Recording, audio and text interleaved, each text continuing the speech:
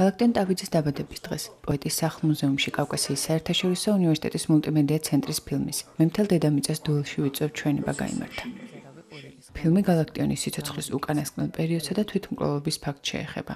პოეტის სულიერ განცდებსა და ბოლო პერიოდის ემოციებზე მისი ძმისშვილი ნოდარ ტაბიძე საუბრობს. ღონისძიებას სკოლის მოსწავლეებთან ერთად საზოგადოებისთვის ცნობილი პოეტები და მწერლები დაესწრნენ.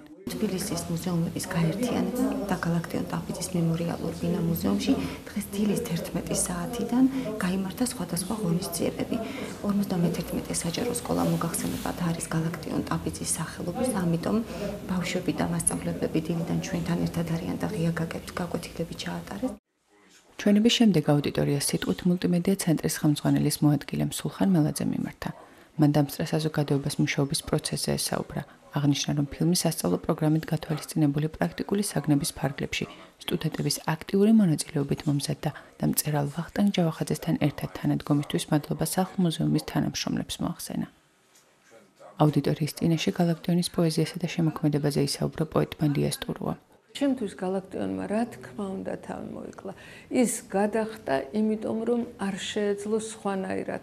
ის სულ ლურჯაცხენებზე იჯდა, სულ ყოფით საშინელებას ხვდებოდა, ყოფით ყოფა ძალიან ძიმე იყო მისთვის. ამიტომ მას რა თქმა უნდა თავისი შექმნილი სამყარო ქონდა, იქ ცხოვრობდა როგორც ჩემს სამშობლოში მე მოვლე მხოლოდ უდაბნო ლურჯად ნახავერდები ან რო სხვა სამშობლო არ გამაჩნია რომ ეს თოვლია ჩემი სამშობლო.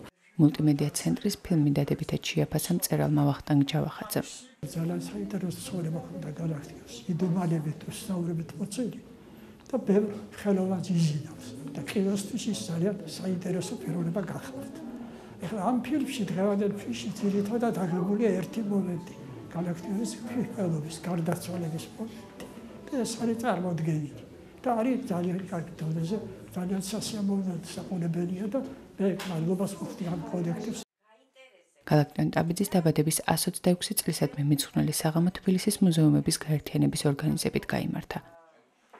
კომპლექსური პროექტი ფილმების ჩვენებასთან ერთად სხვადასხვა საგანმანათლებლო ღონისძიებას მოიცავდა.